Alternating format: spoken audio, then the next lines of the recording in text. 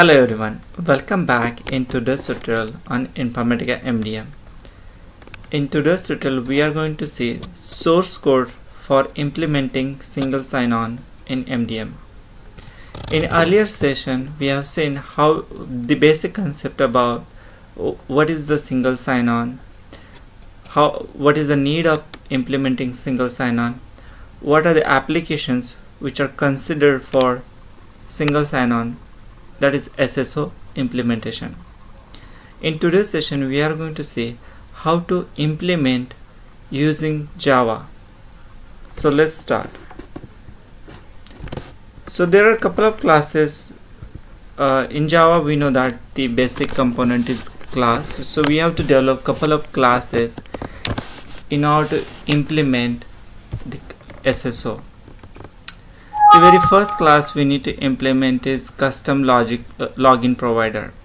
Of course we can give any name to this class but uh, this is just standard practice. So you can use your company name like ABC login provider or something like that. Here in this login provider what logic we have to implement? The logic we need to implement is we have to retrieve the username from the SO, SSO specific field that is available in the HTTP request. As I said in earlier session, so the SSO will be an additional layer on top of your application. So whenever someone uh, access your application, that that has to go through SSO layer. So SSO layer will first layer where the user will provide the username and the password. Then the application will retrieve the username from that request. Then it is required to populate the payload field which is one of the required field um, in order to go through the authentication. So the payload field will with uh, any specific format which you will decipher in user profile provider code. That is another uh, java class which we'll see soon. If you want you can also implement the on logout method where you can either redirect the user to any custom logout page or redirect the, redirect the user back to the auto login mode. For the auto login mode, copy the same code with the redirect to provide a login page to the on, log on logout method. In the same auto login mode, if you click the logout, then re-login happen automatically. What does it means? If user log out what action you would like to give or what page you would like to you would like to show to the user that has to be implemented if you really uh, if really require. Otherwise the default behavior will come into the place. This is the class we um, mentioned in our uh, earlier uh, slide that is custom user profile provider. This is a very important class uh, so what it does once the request is sent from the user through SSO the very first will happen is username will be retrieved in the custom login provider and the payload will be payload field will be populated. In the custom user profile provider we have to retrieve the value from the payload for the security from the security credential based on the format used in our earlier that is the login provider then we have to populate the field called as a user profile. We have to set the cache configuration. This is for the bet better performance of the uh, of the custom uh, uh, authentication such as enabling the user profile cache cache period and so on. This will cache the user profile details for the specific duration within the server to improve the performance. Then Another class is required to implement is custom login module.java. This is normally used to setting the cache and some additional properties. So, so these these are the code, and then we'll finally see how to create a jar file. It is not required to include the library jar files. Even if you include, it will not uh, create any problem. It will just sit there. The jar file has the following structure. It's a meta inf then properties provider dot properties and will class structure will be like com dot info dot sso and the class files. And then we can export it. So let's go ahead and see some code. So very first code we are going to say is custom login provider.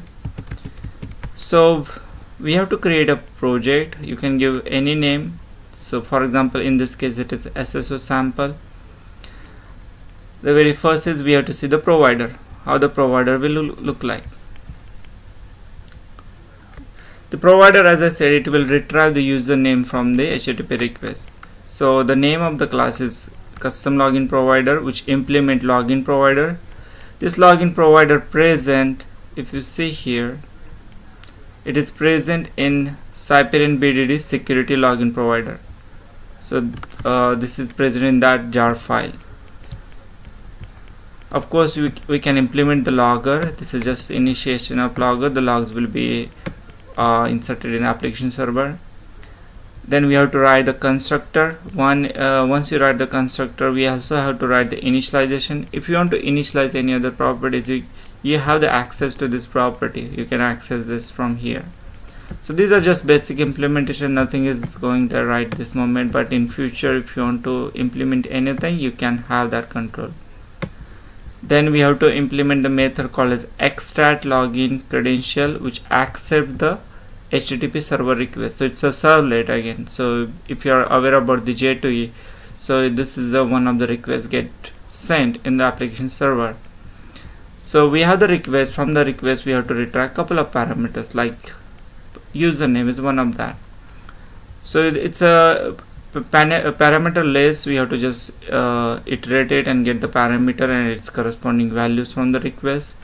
Also uh, from the request when we get this request object we have to get the attribute names also. So there are parameters and attributes. I will not explain what this because this is part of j2e so it will just will retrieve the attribute and see this corresponding values from the request we can get the ip address we can get the username we can get the session id session id is optional. So all this information is available. Once it is available we can check whether username is null or not null. If it is not then uh, by default we can assign. If it is not null then uh, uh, we just trim it in worst case. If there is a trim, uh, if the user is providing some extra spaces. And set this username as a session attribute. So we are setting as the dummy and the request session is valid is checked. If it is invalid means if the someone is might be using just link uh, from the cache and inject they try to read then it should redirect to this page rather than proceeding in that same session. So that's the purpose. And then we also need to use the payload and this is the way it is like payload equal to SSO username and the session ID and this payload will be available to use. So these are the thing we are going to get.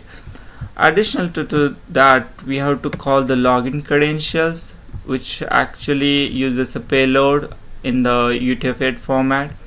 And once the login credential object is ready we can set the first name last name so that user this can be used in setting uh, the first name last name at the application side so these are these are the things happen in the login provider additional method is also available just uh, in order to if you want to encode the component URL or to get the logo image uh, user ID login form etc on logout we are just returning nothing. So so here you can implement if you want to redirect, redirect your request to specific page if you uh, if user logout or if user use option logout then we have the redirect to provider login page. So either you can redirect here from the logout or you can provide it to some other uh, page. This method uh, has input request and a re response also with a redirect URL so from the request we can retrieve the BDD name that is application name.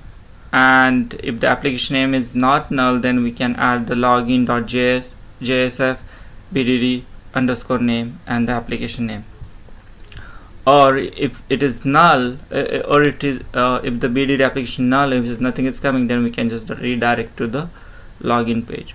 So this is for the redirecting your request. So you can call from any of the classes. Then we have the request login credential. Nothing is implemented. If required we can use this method for accessing uh, login credentials so it has the two parameters as the input. So that is very first class. That is uh, we need to implement that is login provider. The next class is user profile provider. User profile provider is something like that. So we just got the login provider which is a kind of super or very first class. Then we have the uh, user profile provider which implement uh, custom user profile provider which implement the user profile provider. Again the, from the same security class you can see user profile provider. It has a couple of methods. Uh, first of all we have to initialize the list uh, collection object. We call it capabilities. Then we have to also initialize the properties. We have the static block with create user profiler uh, just one value. And we have the properties which you just created but we are loading here properties uh, from the uh, from the map. Now the user uh, profile will be returned for the method create user profile. What this method is doing it is accepting the credential. What are the payload we set in our earlier case in the login provider?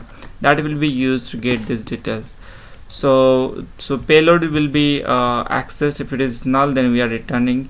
If it is not null then we are returning the session and server so that is very important to access your application. Then the tokenization tokenization uh, or tokenizer will uh, will be uh, created by using string tokenizer and using the comma. And based on the comma we'll retrieve the from the payload we'll retrieve the username we'll retrieve the session id etc the uh, the credential security credential dot get database id will ret retrieve the database id and those can be logged also if it is not critical. Then we'll create the user profile like username we are going to set the what is the user what is the bdd payload etc bdd payload have the user session id and the database id we are going to also set the cache that is the session id so that performance will be better whether it's cacheable true and set expiration and set lifetime also we have the get capabilities and has capa uh, capability methods for the additional functionalities.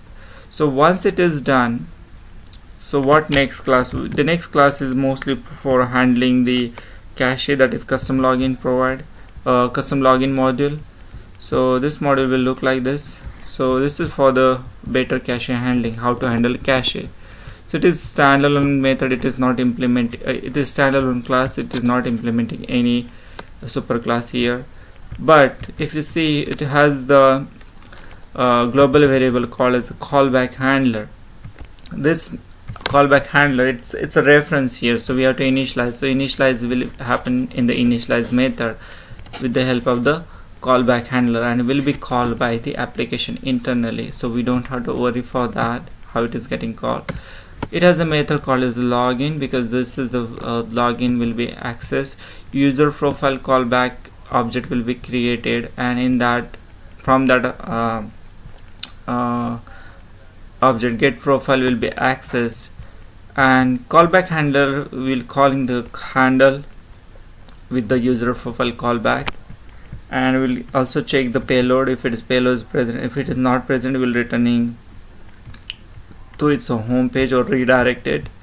Once we have the user profile we'll get the payload from that which will get the uh, username and also the database ID and based on that we, we can set the cache uh, for the profiles for the user given user profile. We are go also going to check the database ID uh, if the database ID is not null then we are going to get that database ID you can see uh, we are just checking the database ID and we are getting all these roles which are associated with the given user so once the roles are retrieved we are checking uh, role IDs and role names here. And we are just uh, setting those roles and role IDs in the user profile. Once it is set so this cache is complete. There are other methods such as commit abort and logout which is not necessarily need to be implemented. But this is the way you can implement the cache for setting user profile this is the one of the thing. There are some other supporting tables also uh, supporting classes also there like custom bdd payload. So you don't have to worry uh, to set the payload every time. So this is one of the helper class we can use to set the uh, username session id and database. So it's like pojo class which can be used very easily. We also have the another um, factory class called as a user profile provider factory it is used to initialize your classes in a um, factory manner. Or it's like factory design pattern. So we are just creating object of custom user profile provider and setting some properties. So if you want to read those property you can read from your class. So those are the things happens. And this once you develop this custom code the next thing is we have to generate the jar file. It's very simple we don't have to worry about the what are the jar files used here. We have to just right click. And there is an option called as a let me show you export. And you can select the jar go here. And I just name as a SSO jar custom I will mention as a custom SSO jar